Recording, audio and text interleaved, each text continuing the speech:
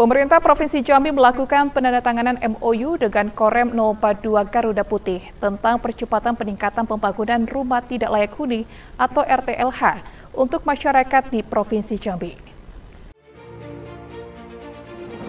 Wakil Gubernur Jambi Abdullah Sani bersama dan Rem 042 Gapu, Brigjen TNI Rahmat, menyaksikan acara seremonial bedah rumah tidak layak huni atau RTLH dan penyerahan alat sanitasi sekaligus MOU antara pemerintah Provinsi Sumatera Selatan dengan Kodim 2 Sriwijaya secara virtual di ruang rapat Makorem 042 Gapu pada Senin 3 Juni 2024.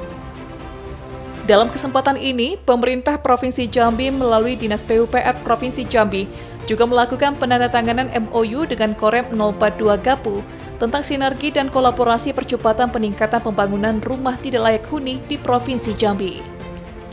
Wakil Gubernur Jambi Abdullah Sadi mengatakan, pemerintah terus berupaya untuk mengentaskan rumah tidak layak huni di Provinsi Jambi, di mana hingga tahun 2024 ini ada sekitar 1.700 unit bedah rumah yang dilakukan, di mana 100 unit di antaranya akan berkolaborasi dengan Korem 042 Gapo.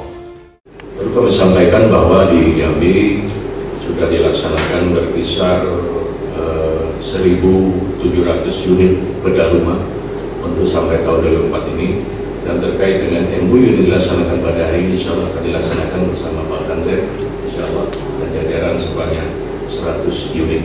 Untuk mohon dukungannya mohon arahannya dan tentunya kepada seluruh pihak terkait sektor terkait dan masyarakat pada umumnya mari kita bersama-sama untuk bersama-sama melaksanakan apa yang akan kita laksanakan ini adalah tugas kemanusiaan yang bukan saja untuk apa tapi memang menjadi kewajiban kita bersama.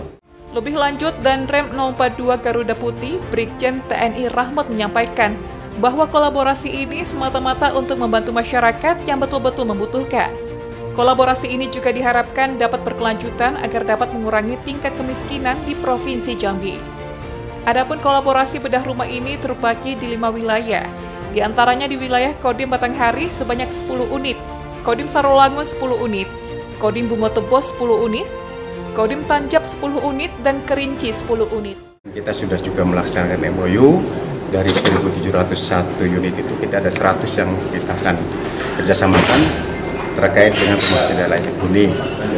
Dari 100 itu tersebar di eh, 5 wilayah, baik itu di Kodim Batanghari ada 10, kemudian di Kodim Surolangun ada 10, Kodim Tebo ada 10, kemudian di uh, Kabupaten Tanjab juga ada 10, dan di Perinci ada 10. Hal ini kita lakukan adalah semata-mata untuk kepentingan masyarakat dalam rangka mensejahterakan bagi masyarakat yang memang membutuhkan uh, kita dalam hal ini pemerintah maupun dalam hal ini TNI Korem yang ada di wilayah Provinsi Jambi.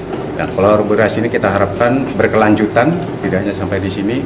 Mudah-mudahan ini akan berdampak untuk mengurangi ya tingkat kemiskinan yang ada di wilayah Provinsi Jambi. Rian Chen Chen, Jack TV melaporkan.